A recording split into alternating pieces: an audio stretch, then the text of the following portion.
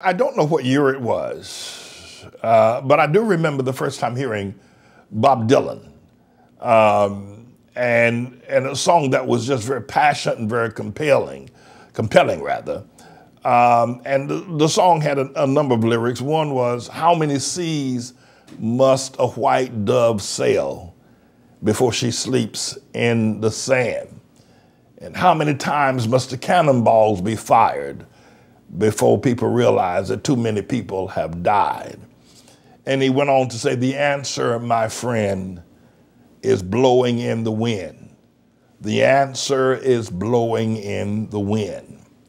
Later on, I believe that Stevie Wonder also picked up on that and recorded it as well. But I believe that Bob Dylan is the writer of that song. The answer to humanity's questions are not easily found. They are blowing in the wind. How many roads must a man walk down before they call him a man? Ah, it's, it's, it's, it's, a powerful joint. If you never heard it, check it out. And by Bob Dylan, I mean, Stevie Wonder does it, but Bob Dylan puts the power to it. I mean, really great. So I've raised the question today how long will it take before humanity realizes too many Negroes have died since they started calling themselves black or African American? And I believe our Lord and Savior, his name is Jesus, has so privileged me to touch the lifespans of when we were known as colored people. And we weren't dying and during those years uh, known as colored people. Parenthetically, there was a few lynchings and, and castrations. And, and, and, during that period of time, and Billie Holiday uh, coined a song uh, called Strange Fruit. Uh, and the song referenced the fact that across the South, and not in a massive way, but certainly enough to get anybody's attention, one of these events would have been horrific. But across the South, over a period of about 30 years, 30 men were hung from trees in the South. And a, a part of the process of, of hanging them was to castrate them, to cut off their genitals and many of the men who did such a dastardly act would take their genitals home as prizes. And when I think about the LGBT, the trannies now, when I think about the transvestites and the young man Elijah that died up on Orchard Beach the other day, who cut off their genitals and castrate themselves, I wonder what in the hell is going on in the world when it used to be such a horrific thing for someone else to cut off your genitals. And now it is the popular thing for black men to cut off their genitals. And they would only do, colored men would not do that. A, a, a Negro would not cut off his genitals for some sort of perverted sexual pleasure. But since he's become black and African American and he's lost his way, he has no sense of reality. He is as lost in space on American soil as you can possibly be. He really doesn't know reality.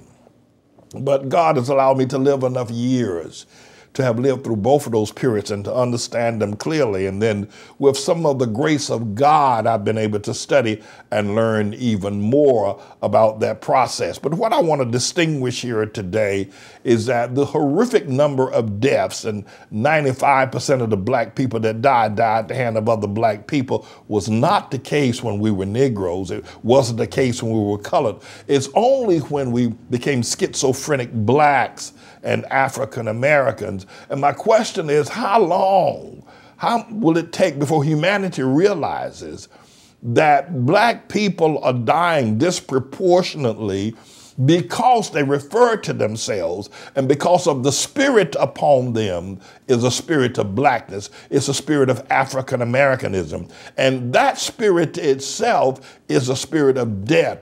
It is a spirit of destruction.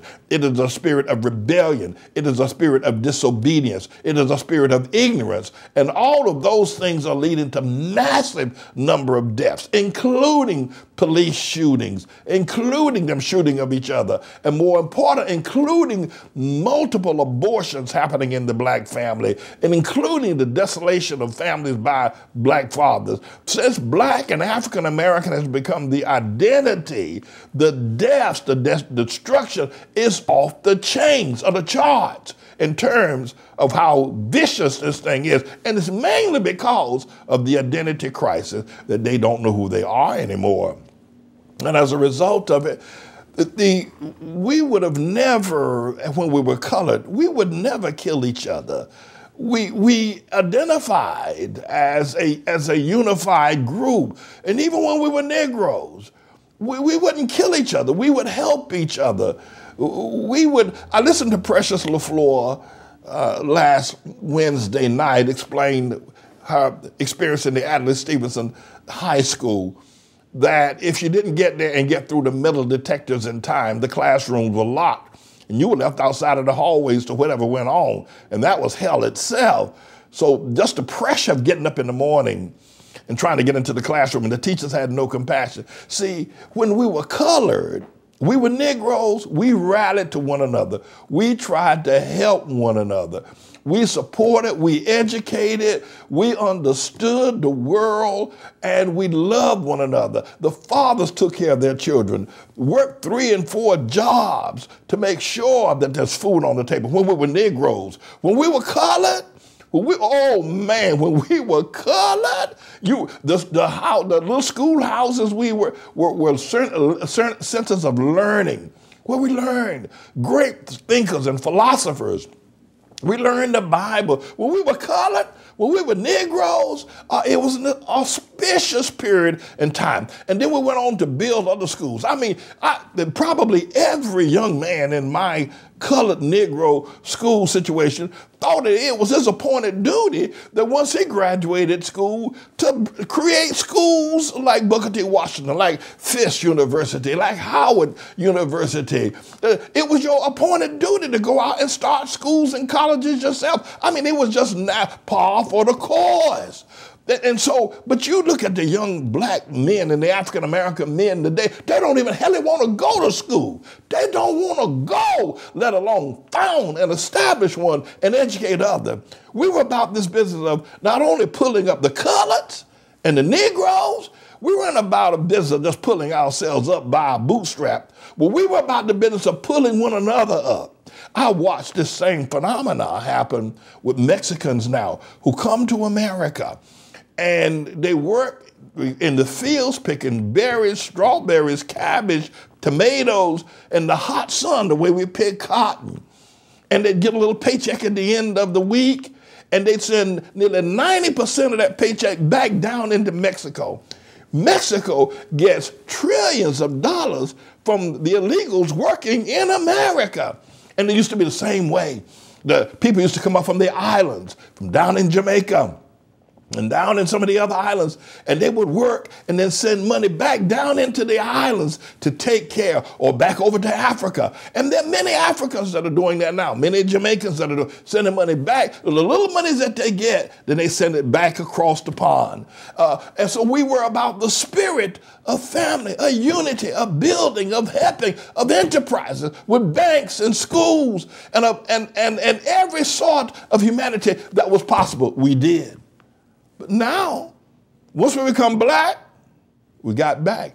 You, the, the, the, the, if you are, and I have asked a question, and so Bob Dylan raised the question how many deaths did it take before people realize too many people have died? How many times must those cannonballs be fired before they realize there's too many people? How much longer are black African Americans going to realize that they're dying because of their thinking. They're, they're killing themselves.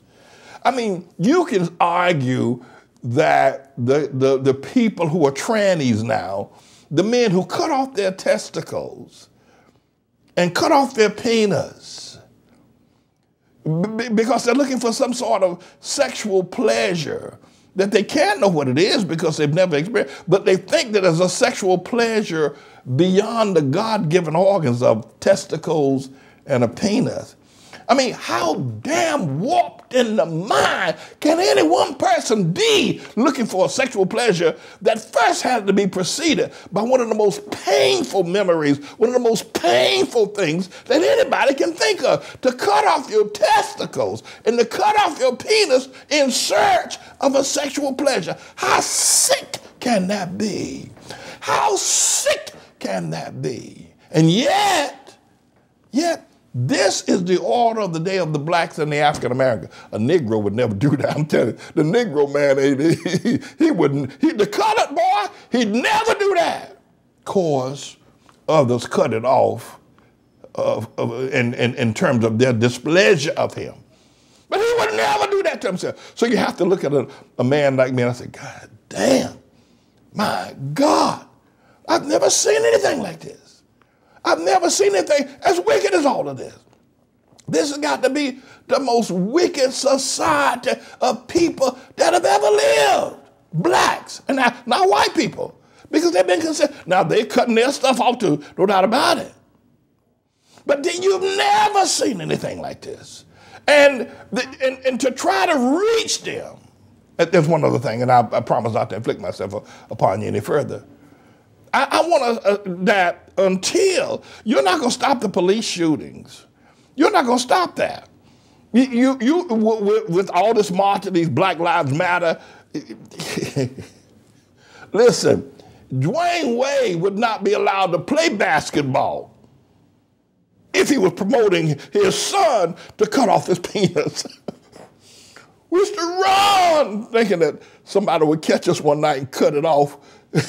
a white man would catch it. And, and for a, a, a basketball star uh, to support his son cutting off his testicles and his penis, what the hell? Damn.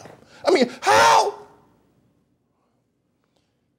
how, how, many, how, how, how long will it take before humanity realize that the black man now has two problems? One is that he doesn't understand the world. He doesn't.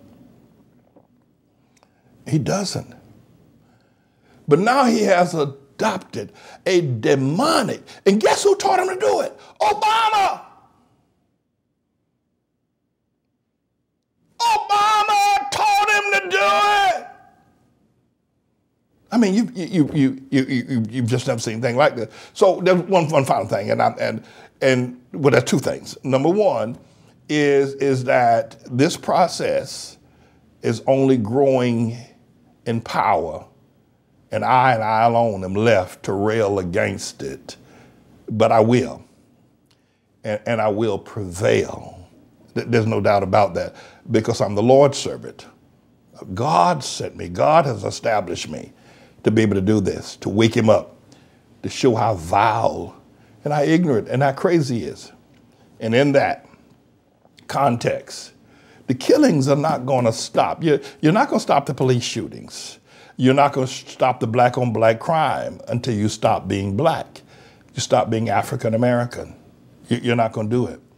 And I think one of the things that we've said about why Michael Jordan or Steph Curry or uh, the, the, the, LeBron James will not live uh, because they understand something as profoundly as, as anybody else. That the black man will kill you. He'll even kill LeBron James at 12 o'clock at night. He will. He understands that process. So I think that it's important for us to recognize that you can't legislate the morality, you cannot legislate the ignorance that is culturalized in black and African ideology. There's no legislation that can make a man wise and make him think, make himself responsible. There's no legislation, and so the killings will continue until God brings Allah. There's one other thing, and this is an aside that I want you to think about this carefully that every time, every time you see someone, including LeBron James or Michael Jordan, every time you see one, a, a tranny, every time you see a gay person or a queer person or a lesbian, every time you see one of them, understand that they probably have molested at least one very young child and potentially as many as three. There's a man on, on MSNBC called Eddie Glaude. He's professor of African studies at Princeton University. And Eddie Glaude pr- promotes James Baldwin.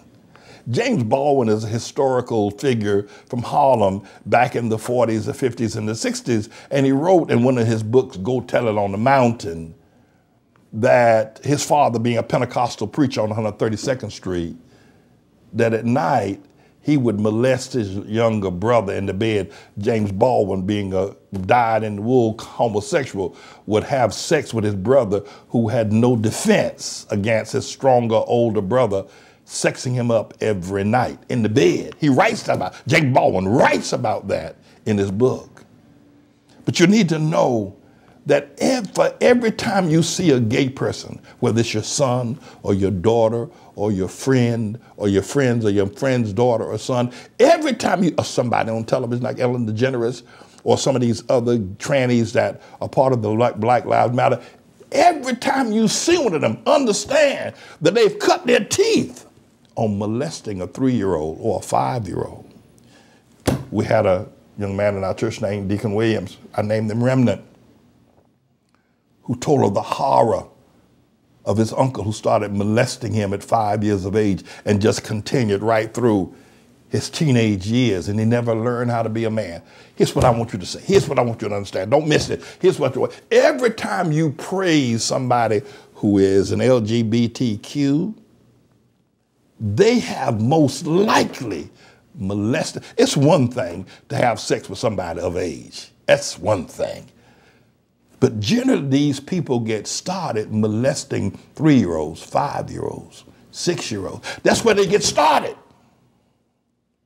So it is potentially true that every person that announces, that including pastors of churches who stand up in pulpits and they themselves are pastors, and potentially they were molested by their uncles or by their father, or they were molested by some other pastor who were big molesters themselves of little boys. You think it's big time in the Catholic Church. Oh, you ain't been Pentecostal yet or Assemblies of God. you, you, you, haven't been, no, you haven't been to the black church yet or the African Methodist Episcopal Church. Where the pastors are molesters of little boys. How much longer? How many seas must a white dove sail before she sleeps in the sand. How many roads must a man walk down before they call him a man? And how long must humanity put up with this deviant society? And how long will the Hamite brother call himself black before he wakes up? How long will he recognize that is calling himself black and African American that has brought this despicable behavior and mindset and this sausage brain where he can't even think. Whether he has allowed himself to think it's honorable to cut off his penis and his testicles, and he finds that honorable, and he goes on major television shows with his son like Dwyane Wade and boasts of a, what a great culture we are because we've castrated ourselves. But when he identified himself as black and African American, he also castrated a part of his brain. He can't think no more. He don't. I swear to God, I'm telling you, I would not lie to you. I would not lie to you. I will lie to you. He can't think no more. You can't even talk to him. He just like pouring water off a duck's back. He doesn't think, he doesn't understand the world. How long? How long? I hope not long. I hope not long before he stops calling himself black. Years ago, you call back in the 19 early 60s, late 50s, you call one of us black, that's fighting words. You ain't go, we ain't, whoo, nah, it's fighting words. Call us African from the dark continent, that's fighting words. How long? How long? I pray it's not long. I said it three times. I'm keeping count. I want to leave you with this. First of all, that humanity needs to come to the aid of the man who calls himself black and African and identifies with Obama. And the whole world needs to condemn Obama for what he has done by encouraging his, if you will, lineage to cut off their testicles and to cut off their, and for a woman to do to her manipulation of her body. The world needs to condemn Obama needs to stand and condemn him. And there needs to be an understanding of the scourge of how could you go from fearing the white man or the Klan cutting off your testicles to you now having Dwyane Wade cut his son's testicles off. How, how, how did we get there? How do we get there? How do we get there? Don't you see? Don't, don't, don't, don't you see? Don't you, see? And then finally, the things I've said three times, now for the fourth time, and not to inflict myself any further. I doubt, very seriously, there is anybody who has come out of the closet and identified as LGBTQ plus that has not molested a young child, and some as early as three years of age. Every time you see one of these persons, you have to ask yourself, in your background, have you molested an underage person? Have you actually ruined some person's life, such as Deacon Remnant Williams, five years old, teaching him the taste of the flesh of a man? Every time you see one of them, every time you see one of them in their background, it's most potentially, if not absolutely sure, that they're pedophiles and molesters. This message is not going to go well with the global internet police. I don't know if they'll let it get posted, but you've heard it. The few of you that have heard it today, make the best use of it. And I'm talking to some guilty people too today. I am. I'm talking to women who have molested their sisters in the bed at night and brothers who have molested each other. I'm talking to guilty people and you want to raise it up before God. But you wouldn't do that if you were colored. You wouldn't. You wouldn't do that if you were Negro. Or at least you wouldn't praise, you wouldn't praise it as some sort of noble act. They've taken something as despicable and ugly as this and made it a noble act. And now Black Lives Matter is at the head of the pack. Black Lives Matter is not about black justice it's about black gender, if you will, communist ideology of forcing people out of the gender of God into the gender of Satan. And I, and I alone, except for you, stand with me. I'm going to go forward. Yeah, I, I'm, I'm going to make it. I am the Lord's servant. I, I, I will make it. But thank you for listening. Thank you for listening to me today. I'm James Eben Manning, everybody. I'm the Lord's servant.